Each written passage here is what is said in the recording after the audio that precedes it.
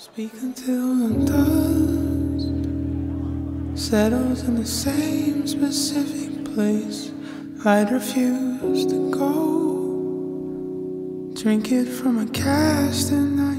Ospatzen duguna da, zuaitza zoka da, badakizue urte hasieratikan edo atadikalean edo bi e, larun bateak behin etortzen direla edo ba, zuaitzak eta frutargola sartzeko eta bueno, horren testu ingurua beti izan da zuaitza zoka hau izaten dela data honetan eta bueno, guk edo gure azoka bereziei edo ba, bueno, pistoletazoa edo izaten da gehien bat edo ga, guain garaia da edo zuaitzak landatzeko eta horregatikan bat testu inguru honetan zuaitza zoka dugu.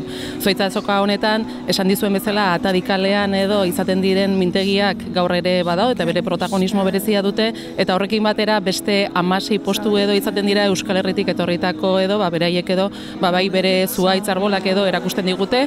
Egi esan da zuaitz asoka niretzat edo badu garrantzi hori zati bueno, bertatik bertara e, beraiekin hitz egiten dakazu ba, noiz landatu behar dituzun, zein eratan, nola zaindu behar dituzu zuaitz arbolari eta bueno, niretzat edo ba, bueno, e, ikasteko aukera ona da ez, ere izan da naiz eguraldi ona edo txarra izan azoka bat jende asko erakartzen dula.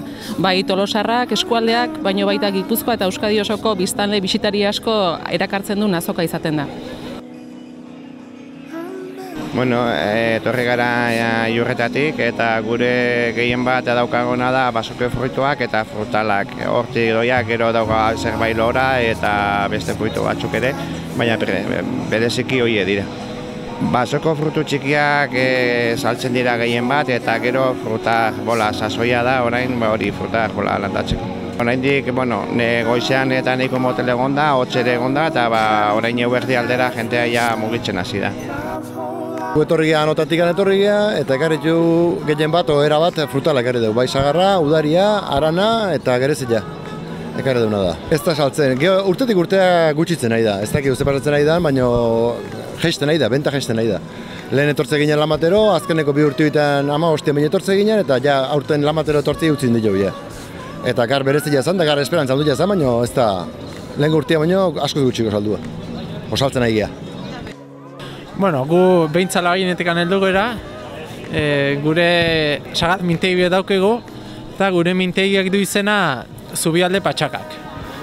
Eta gure mintegiaren ezaugarria da egiten du sagat landarak egiten txugu, baina dena sagat basatitikan e, sortuta.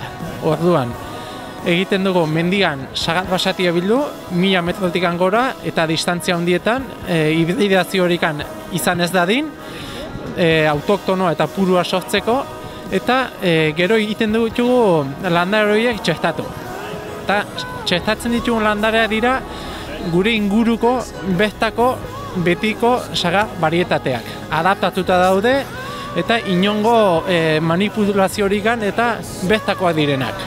Landare honen ezaugadik e, zaina handi dauzke, orduan gaixotasen unenako e, kisto mentaja dauzke, ez aguantatzeko kapazidea handi dauke puskaz, eta gero frutan kalidea emateko e, ez du beste zuaitzekiko ikusteko horikan. Asko zere nivel altuoko fruitu ematen du.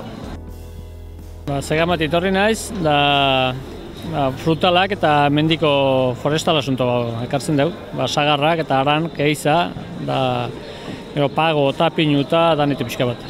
Bueno, goizen lehen da biziko jendean nahiko gotziko zutza, baina ba, pixka eta da moitzen. Hai jende gehiu bizin da, azoka zehotan, da, bueno, ba, jendeen poderion ba, ba, geixio saltzen da.